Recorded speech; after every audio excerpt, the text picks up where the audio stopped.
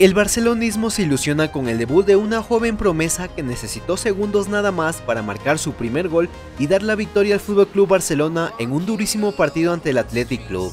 Margui U hacía su ingreso al minuto 80 y a los pocos segundos de estar en el campo tuvo un balón al vacío. El jugador corrió hasta el área, quedó mano a mano y definió de gran manera para gritar su primer gol con el primer equipo.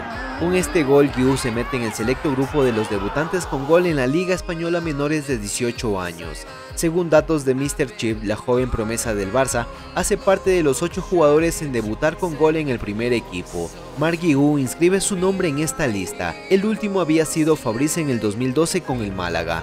Tuvieron que pasar 11 años para ver nuevamente a un jugador marcar un gol en su debut y que sea menor de 18 años. La familia de Mark que estaba en la grada no podían creerlo lo que acababa de pasar y este era su reacción.